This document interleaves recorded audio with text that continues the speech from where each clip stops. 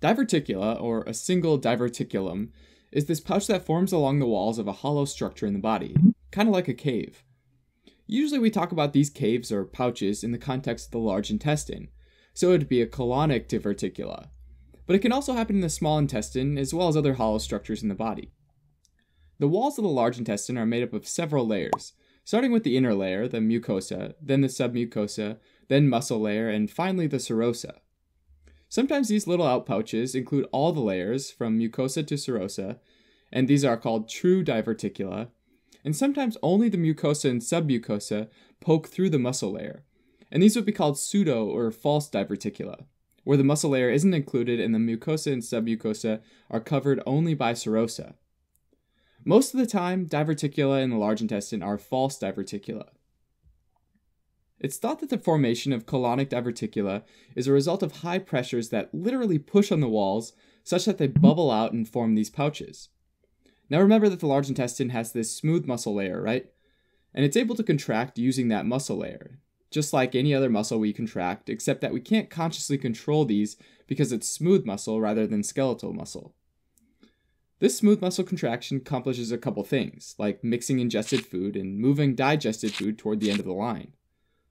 Whenever it contracts, though, higher pressures are generated inside the lumen, since it's sort of like being squeezed and compressing the air inside. And normally you'd imagine that the higher pressure would be equally felt throughout the lumen, right?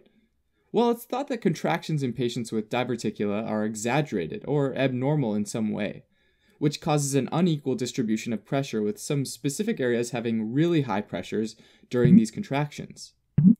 It's not quite clear exactly what leads to these abnormal contractions, but some studies suggest it might have something to do with the smooth muscle itself.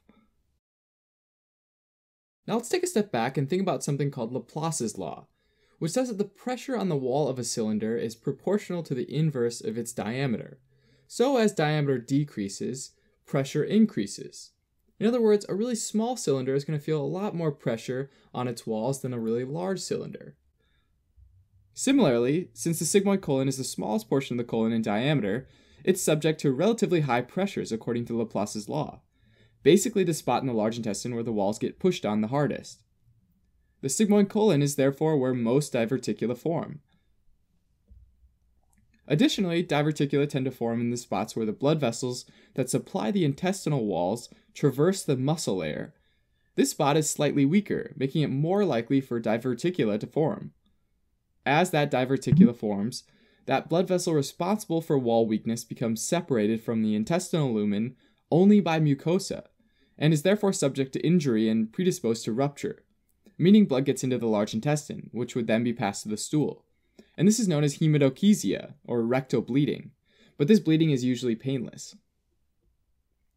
Other associations with diverticula include things that either increase the stress of the walls of the intestine or decrease the strength of the intestinal walls. Fiber helps stool move more easily through the colon, so diets low in fiber can lead to constipation and make it harder for the colon to move small, hard stool, Having said that, the exact relationship between fiber and having diverticula, with or without symptoms, is not very clear.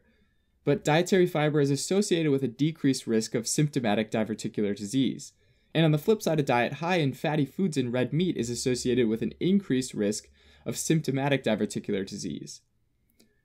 There are also genetic causes of diverticula, like Marfan syndrome and Ehlers Danlos, which are genetic disorders that affect connective tissue.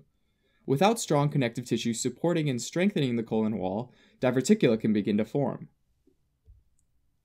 Having diverticula in the colon is called diverticulosis, and most of the time people won't even know that they have diverticulosis because they don't have any symptoms.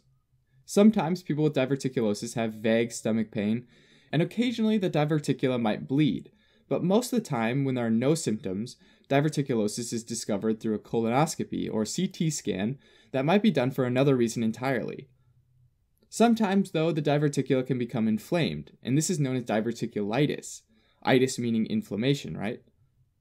Although inflammation can happen when fecal matter, or fecaliths, become lodged in the diverticula, this is thought to actually be less common, and really inflammation is thought to happen more often due to erosion of the diverticular wall from higher luminal pressures. Erosion and inflammation most commonly causes pain in the left lower quadrant. diverticulitis is usually not associated with hematochezia, or rectal bleeding, since the blood vessels become scarred from inflammation, and therefore rectal bleeding is more associated with diverticulosis. Sometimes, if the diverticula become distended enough, it might rupture and form a fistula, which is a connection with an adjacent organ or structure. Since it sits pretty close to the bladder, a fistula connecting the large intestine to the bladder might form, called a colovesicular fistula, and this might result in air or stool in the urine, which, as you might imagine, is not a good thing. Treatment for diverticulitis might involve antibiotics to limit bacterial overgrowth, and some might recommend a high fiber diet after patients have recovered. In more severe cases, though, the affected area of the colon might be surgically removed.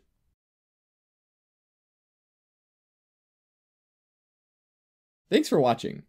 You can help support us by donating on Patreon or subscribing to our channel or telling your friends about us on social media.